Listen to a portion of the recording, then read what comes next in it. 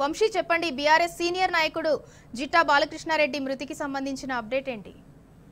తెలంగాణ ఉద్యమకారుడు జిట్టా బాలకృష్ణారెడ్డి ఏదైతే యశోద ఆసుపత్రిలో గత నలభై రోజుల నుంచి కూడా చికిత్స పొందుతా ఉన్నారు గత కొంతకాలంగా అనారోగ్యంతో బాధపడుతూ హైదరాబాద్లోని ఏదైతే సికింద్రాబాద్ యశోద ఆసుపత్రిలో చికిత్స పొందుతూ ఈ రోజు మృతి చెందినటువంటి పరిస్థితి కూడా మనం చూస్తా ఉన్నాము. కొద్దిసేపటి క్రితమే వారిని అది ఏదైతే సికింద్రాబాద్ యశోద నుంచి యాదాద్రి భువనగిరి ప్రాంతంలోని వారి ఫామ్ హౌస్కి తరలించినటువంటి పరిస్థితి మనం చూస్తా ఉన్నాము.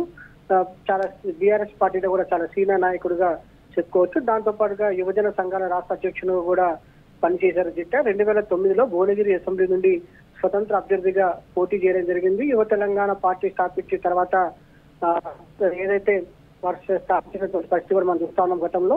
అనారోగ్యంతో నెల రోజుల క్రితం సికింద్రాబాద్ శిష్యత ఆసుపత్రిలో చికిత్స పొందుతున్నారు. మల్టీ ఆర్గాన్ ఫెయిల్యూర్ అయినట్టు కూడా ఆసుపత్రి వైద్యులు చెప్పినటువంటి పరిస్థితి కూడా మనం చూస్తా ఉన్నాం. గత నెల రోజుల నుంచి కూడా మృత్యుతో పోరాడినటువంటి జిట్టా బాలకృష్ణారెడ్డి ఈ రోజు మృతి చెందినటువంటి పరిస్థితి కూడా మనం చూస్తా ఉన్నాము. ట్రీట్మెంట్కి బాడీ సహకరించకపోవడంతో ఏదైతే తుది శ్వాస విడిచినటువంటి పరిస్థితి కూడా మనం చూస్తా ఉన్నాము.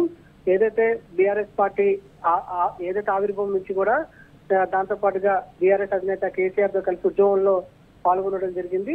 దిట్ట మరణ వార్త విని శోక సందర్భంలో ఆయన అనుచరులు కావచ్చు అభిమానులు కూడా ఉన్నటువంటి పరిస్థితి మనం చూస్తా ఉన్నాము. కొద్దిసేపటి క్రితమే ఏదైతే హైదరాబాద్ నుంచి వారి పార్టీ భువనగిరిలో శివార్లో ఉన్నటువంటి వారి ఫామ్ హౌస్కి అంత్యక్రియల కోసం తరలించినటువంటి పరిస్థితి మనం చూస్తా ఉన్నాము.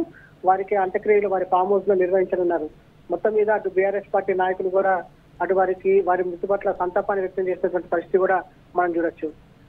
Right thank you Vamsi